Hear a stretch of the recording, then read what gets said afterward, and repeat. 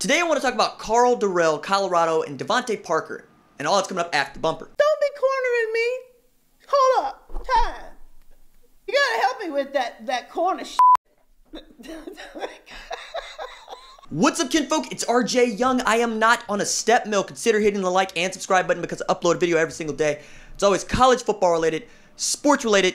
We have a good time. Today, I want to talk about Karl Dorrell, who is, we think, going to be the next head coach Colorado if all of the reports are correct. This after a tour of coaches basically pulling their names out of the hat. You'll remember not too long ago, Mel Tucker decided to take the Michigan State head coaching job that Mark Dantonio retired from, and Colorado fans and boosters were very, very upset about this. And they went through a tour of candidates uh, from Alabama offensive coordinator Steve Sarkisian to Air Force head coach Troy Calhoun to Kansas City offensive coordinator Eric Bieniemy to Bret Bielema to on and on we go. Even Alex Grinch was getting looks, as was Graham Harrell, according to Bruce Feldman.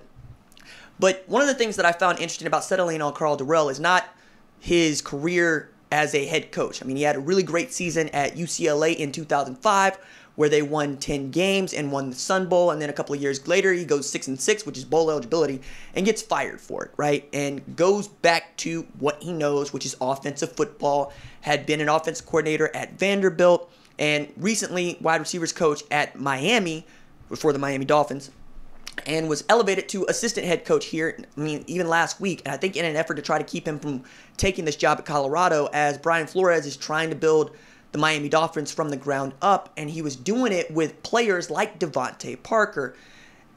And I want to talk about DeVante Parker and Karl Dorrell and being a coach, right? We need to add in there that Karl Dorrell was offense coordinator at CU at one point in time.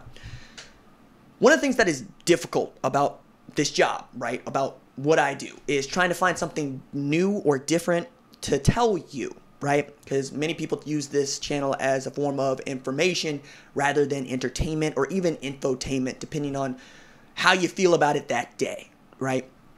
If I make an upload about me watching The Gentleman and wanting to jam with it with my best friend, thinking that people would enjoy that, I'm wrong, right? But if I talk about an offensive recruit that is a five star coming to Oklahoma. It's like where defensive recruits. If I offer, if I talk about a defensive recruit, you know what it is, and it's not complaining. It's just part of the deal, right? And with all these different sources of information out there, one of the things that I find also fun about my job is that I can do it better than most of those people, right? Because the surface is ESPN, Yahoo Sports, all places that I read, all places that are great, The Athletic even to a degree.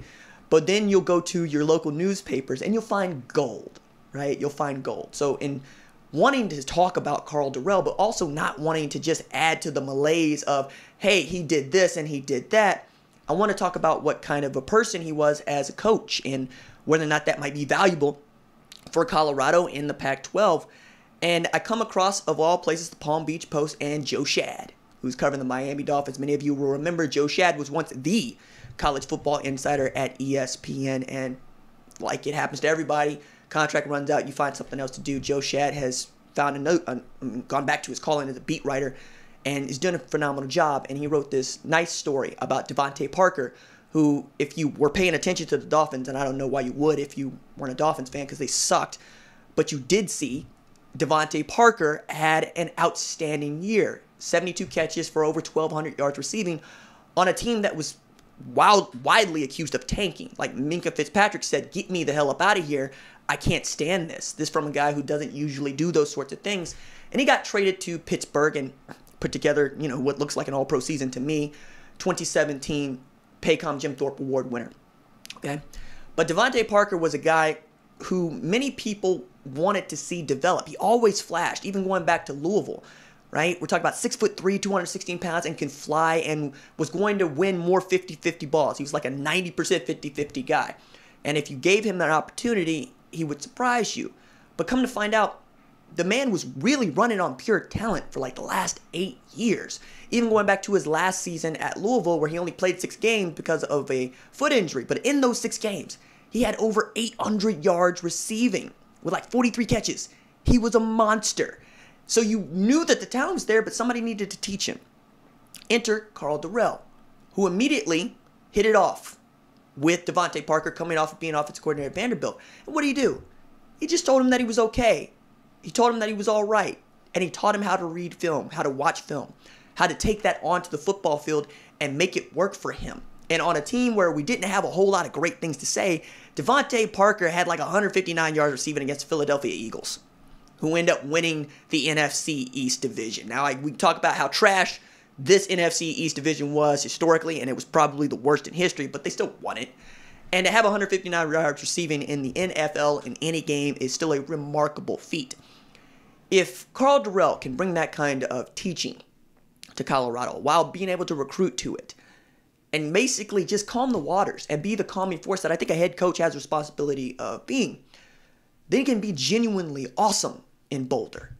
And I think it's because Oklahoma at one point it played Colorado for 50 plus years that I just kind of feel like it's a good job if you can get it and if you can compete. And I think, yeah, Oregon, they're going to run the conference for a little bit. Mario Cristobal is a man among men. Matter of fact, one of the stories I love about Mario Cristobal is he's on this 1991 Miami Hurricanes team that was undefeated. And by the way, traveled to Skelly Stadium to play my alma mater, Tulsa, and the homie Jerry Ostroski and them. And yeah, Tulsa lost that game, but they go 10 and 2 that season, finished number 21 in the polls. Probably the best season in Tulsa football history. But also on that team is Tommy Tuberville coaching the linebackers, Ed Orgeron coaching the defensive line, and Dwayne The Rock Johnson also on the defensive line.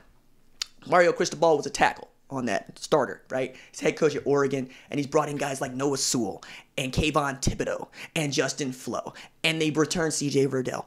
And they're going to be, I think, the pick to win the Pac 12 yet again. But Herm Edwards has Arizona State trending in a direction where it's fun to watch. Jayden Daniels is going to come off of a true freshman season where he was outstanding and I think be great as a sophomore. USC gets to see what they're made of right away with a season opener against Alabama. Graham Harrell, you're going to get everything you want from Pete Golding, but whether it's Kedon Slovis or JT Daniels, who's a starting quarterback, I think USC is going to have a puncher's chance there. And that means they're going to have a puncher's chance in the Pac 12. Washington is going to have Jimmy Lake running things. The Chris Petersen era is over, but we all believe that Jimmy Lake was one of the better defensive coordinators in the entire country. And those are all just teams that are coming off the top of my head in the Pac 12. While Stanford is basically going to be dormant for it until they can get back, Colorado, you have a chance here.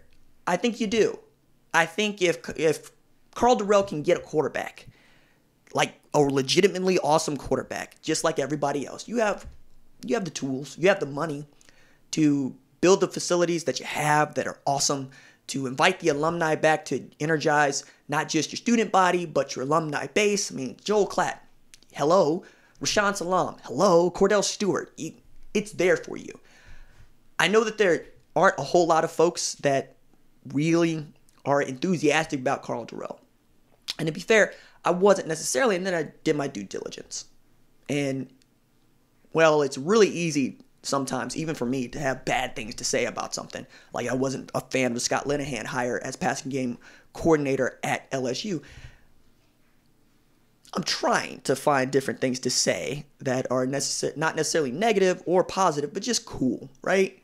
You know, and I think that Karl Dorrell trying to help DeVante Parker become a better NFL wide receiver is very, very cool and totally worthwhile and a story worth retelling as he tries to take this job over. And if he gets another DeVante Parker into Colorado, what could he be? Remember, DeVante Parker's first 1,000 yard receiving season in college or the NFL was last year. And he's been playing in college or the NFL since like 2011. Okay? So Bear that in mind if you're a Colorado fan or you're just a casual observer of a head coaching search that nobody really would have cared about if it didn't happen just the day before National Signing Day. It's wildly just weird, right? We're not used to this, and we're giving this all kinds of scrutiny because it's the only Power 5 head coaching job still available as all the other vacancies have been filled, and we're going to see some moving and shaking on other staffs as Karl Dorrell tries to fill out his own. Mel Tucker did what I think anybody would do if they're going to double your salary. You're going to take a better job, especially if they're going to give you job security. I also think that Steve Sarkisian was making a play to be uh, make some more money as the offensive coordinator at Alabama, and I'm for that as well. Maybe Alex Grinch, as I have alluded to, will get the raise that I think he deserves at this point in time, and that'll be enough to perhaps keep him on for another couple of years because I think Oklahoma is at least a year away, but we'll see. All right, that's it for me. Doses.